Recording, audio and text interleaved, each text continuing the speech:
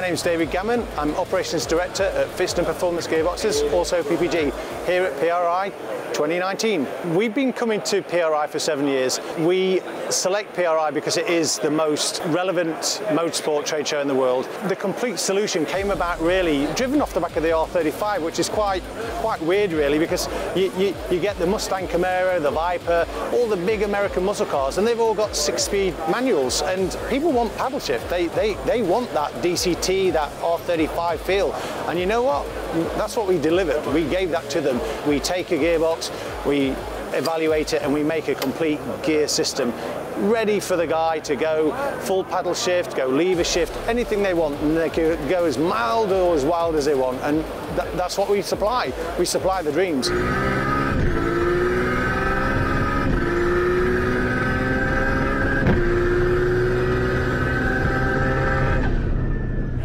The gears are the easy part for us. That's what we do. That's our bread and butter. So we, we tend to, a lot of people see straight cut and synchro and helical and dog and not really know what all that is. So the engagement is synchro or, or dog. So the, the sequentials are dog, dog engagement. The, the actual tooth profile can be straight cut or helical. The helical we use a lot, especially on T56 and the, the R32 GTR sequential.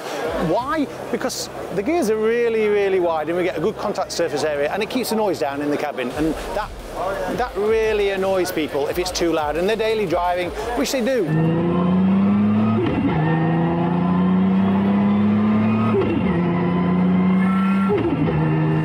The second thing is that the, sometimes the OEM, the bearing diameters and the widths and everything else can be increased by simple modifications using billet, billet plates, intermediary plates and sandwich plates. And that, that's be, become more and more prevalent on every gear set now, every gear system. So in the sequential conversion, we, we use a motorsport barrel, few moving parts, and low friction, and that's the key in a PPG. It's low friction, low mass. I think the biggest thing you'll change on, on gearbox technology is it's all about the data. So at PPG, we collaborated with a, a company called Gill Sensors, a boutique British company. They supply fuel flow sensors and a lot of sensors for the Formula One industry.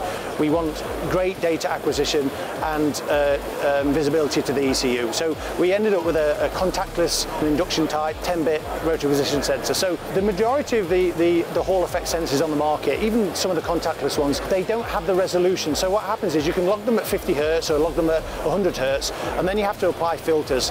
And what that does is that that gives you an insecurity of knowing that that data is correct. Our blade sensor can log at one kilohertz and it will give you a flat output. The more data we can give the ECU, the, the better the integrity of the shift the repeatability and the uniformity. And that's the key advantage and that's what makes the system. We have a rotary position sensor and we have a, a load cell. The, the rotary position sensor sits on the barrel and what that does, it basically tells the ECU what the barrel is doing, so what position at any given location. In terms of a lever shift car, you have a load cell, and that sits on the bottom of the, the gear lever, or in the R32 um, case, it's actually integrated into the to the um, shift knob on the top of the, the lever. When you run a closed loop circuit, you use the, the load cell to initiate the cut. So you, you, you pull on the lever, the lever goes to a threshold force. The load cell is um, a 0 to 5 volt. We do a 0 to 12 volt now, actually mandated, because a lot of road cars, again, they can't get a 5 volt feed. Um, the voltage is centered at like 2.5 volts. So what that means is we can we have an upshift voltage and a downshift voltage. So when we go upshift, the voltage goes high. When we go down, the voltage goes low. And again, the ECU can determine that. And we typically map that per gear and we look at the way that the lever takes up any slack in the system it starts to see micro movements on the barrel and at which point that is the correct uh, ignition cut strategy. With the 10-bit rotary sensor and the load cell, you can run several closed loop um, circuits on the gear shift strategy, which a lot of people don't really understand, but we try and implement them from a, a point of reliability and longevity. And, and that's typical for PPG. You will see these gearboxes in service for four and five years and no parts. The sensors do the work for you. They do not allow power on shifting, either upshift or downshift. And if the calibration is done right, then they shouldn't require parts. The, the gill blade sensor is a, is a comms-based programmable sensor that you program when you when you install the gearbox. Usually you do it on the bench, and we we we made the decision to use all Deutsch connectors, so proprietary Deutsch connectors, Autosport connectors like you use on any any car. Um, all the looms are DR25 loom. Um, we use DTM connectors as and where possible, and it's an overloom that has a full detailed schematic in all our, our documentation, so you can not only integrate with that, you can bypass it if you really want. You know, engineers may build it into their loom, such as like the Lamborghini, and that, that gives you everything you need for, for integration into the ECU and into the chassis. With a lever shifter, you're using your hand to move a lever from A to B, which is X amount of distance, and a paddle shift, pushing a lever, you're pushing a button, you're, you're tapping a paddle. It's an electrical function into the ECU, and the gearbox still moves in a mechanical fashion. Typically in, in a PPG sequential, when we offer a paddle shift solution, it's no more than four to six bolts, and that's it. You take everything off, and you put pneumatic cylinder on and then basically you have a, have a, a connection with the ECU and that is the difference. There's no other difference. It's it's really a case of it's it's actuated by a hand, by a lever into a rod into the actuator, or it's uh, pushed and pulled by a small cylinder. And that really is the only difference in a in a paddle shift or a lever shift sequential the function of the ECU is very similar. You don't use a load cell on a, on a, on a paddle shift system, but that's a different strategy. In a lever shift sequential, your load cell says to the ECU, hey, I'm going to shift. Whereas in a paddle shift, you, you make an action and the system has to react. So typically, a paddle shift system can be more aggressive than a lever system just from that very aspect. But what we've done in the past is actually fit a load cell in front of the, the, the, the pneumatic cylinder. So we can actually, again, have a, have a pre-warning to the, to the ECU. And I, I think it's just a case of being smart. And if you have the proper strategy and the proper calibration, then, you know, paddle shift can be absolutely sublime. It, it's, you know, in terms of longevity, it's the ultimate control because you can never make a shift without the gearbox um, being controlled by, by its sensors. Our paddle shift systems vary. We have, um, we, we typically use a, um, a, a two-way cylinder um, and that requires a, an external valve body. Um, and that will usually, if you have a motorsport ECU, you, you plug that straight into the ECU to control the, the, the flat shift and the, and the, the throttle blipping. So the, the, paddle shift options are T56 Tremec. We also do the Subaru Impreza STI WRX. We also have a, a system for Lamborghini um, that was done through Dallas Performance, but nonetheless available. And the, the latest one that's fresh off the uh, drawing board is the R32, and that will be available uh, early 2020. All the air compressors they tend to be quite bulky. And this is where a lot of the, the, the, energy for PPG going forward is actually we're moving to e-drive systems. So we're circumventing the pneumatic and going to essentially electric.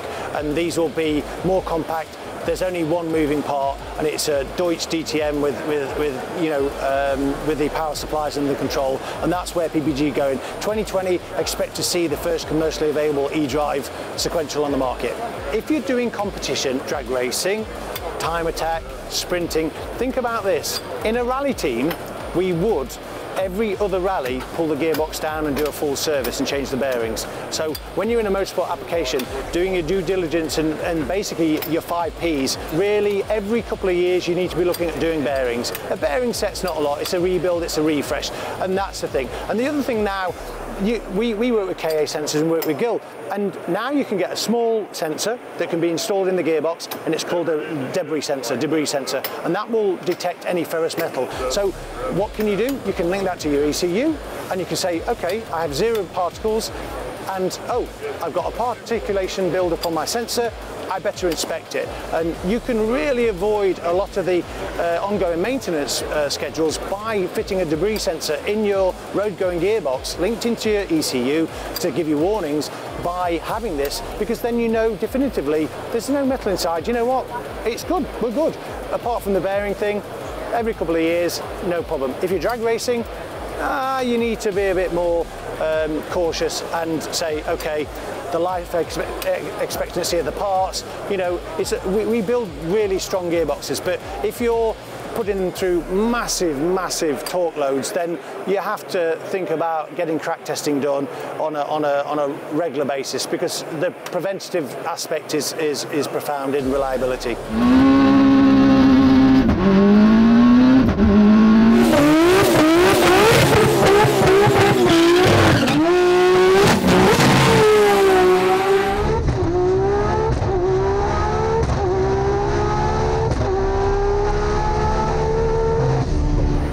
Service interval, we would say oil change every time you go to a, a big event. If you're doing a big event where you're drag racing all weekend, change the oil before you go. If you have a filtration system, change the oil filter. You should be okay for a couple of years in, in an R30, R32 GTR doing the occasional event, you should be fine. It's only when you're um, doing extreme circuit racing, you know, you go for a track day and the track day turns out to be, you know, 80, 100 laps. That's when you need to think about the, not necessarily the gearbox, but the oil integrity. When you have those extremes, then you have to take on the burden that you need to be crack testing and doing your due diligence to make sure that you've got the reliability. The Texas Mile is a formidable event and uh, M2K and Mark Hideko and his team, they've gone 300 300, the first piston-powered car to go over 300 miles an hour. They actually did 306 miles an hour just after the finish, but they, they got a registered uh, time of 300.4 miles an hour. And actually, people are saying, oh, you know, because it, is it the Ferrari, the GD40 thing? It's no. Actually, when he went 300, when he went 300, we we we, we kind of had to give him the respect. We, and actually, it was a masterstroke. It's a masterclass because I think it, it's it's one of the most you know sought after cars here at PRI 2019. They won the best boosted um, motor um, PRI 2019. Obviously, that's not us. We make gearboxes. Nonetheless, it's a lovely gold trophy. It's, it's awarded by JE Pistons every year, and it's a, it's a fantastic accolade for the car. And we're, we're honoured to be just a small part of this of this uh, car's history.